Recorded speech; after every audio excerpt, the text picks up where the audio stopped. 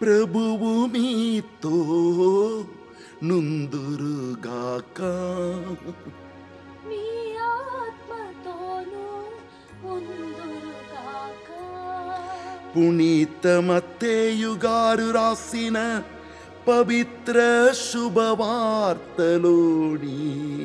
భాగము ప్రభువా మీకు మహిమ మత్తయి సువిశేషము ఇరవై ఒక్కటవ అధ్యాయము. పవిత్ర వచనములు ముప్పై మూడు నుండి నలభై మూడు వరకు. మరి యొక్క ఉపమానమును ఆలకింపుడు. యజమానుడు ఒక్కడు ద్రాక్ష తోటను నాటించి చుట్టూ కంచె వేయించెను. గానుగ కొరకు గోతిని త్రవించి గోపురము కట్టించి కాపులకు కౌలుకిచ్చి దూరదేశమునకు వెడలెను ద్రాక్ష పండ్లు కోతకు వచ్చినప్పుడు తన భాగమును తెచ్చుటకై కౌలుదార్ల యుద్ధకు తన సేవకులను పంపెను కాని వారు యజమానుని సేవకులను పట్టుకొని ఒక్కనిని కొట్టిరి ఒక్కనిని చంపిరి మరి ఒక్కనిని రాళ్ళ దెబ్బలకు గురి చేసిరి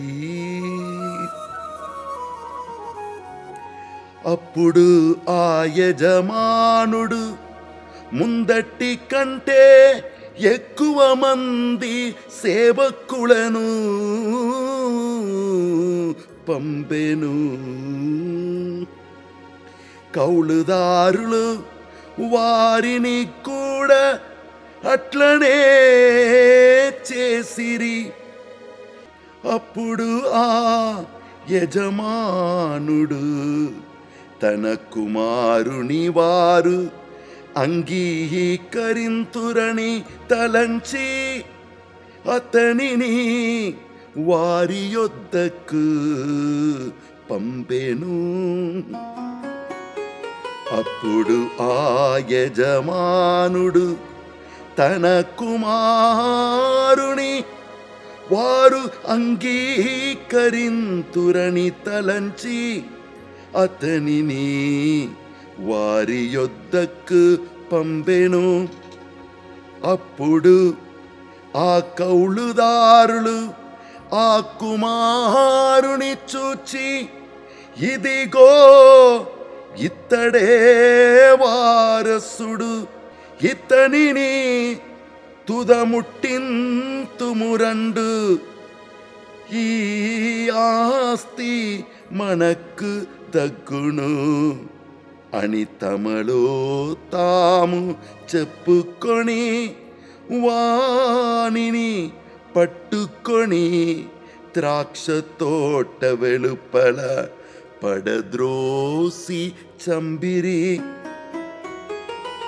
కాబట్టి ద్రాక్ష తోట యజమానుడు వచ్చినప్పుడు ఆ కౌలుదార్లను ఏమి చేయును అని యేసు ప్రశ్నించెను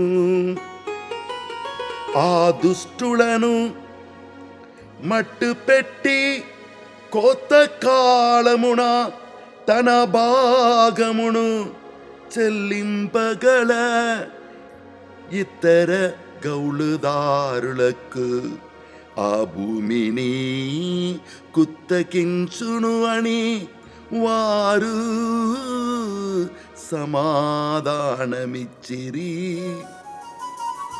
అప్పుడు యేసు వారితో మీరు లేఖనములందెన్నడు చదువలేదా? ఇల్లు కట్టువారు త్రోసివేసిన రాయి ముఖ్యమైన మూలరాయి ఇది ప్రభువు ఏర్పాటు. ఇది ఎంత ఆశ్చర్యకరము. అందువలన దేవుని రాజ్యము మీ నుండి తొలగింపబడి తగిన ఫలములనిచ్చు వారికి ఈయబడునని నేను మీతో చెప్పుచున్నాను. ఇది క్రీస్తు మన కొసగే పవిత్ర శుభవార్త. క్రీస్తువా స్తుతి కలుగునుగాక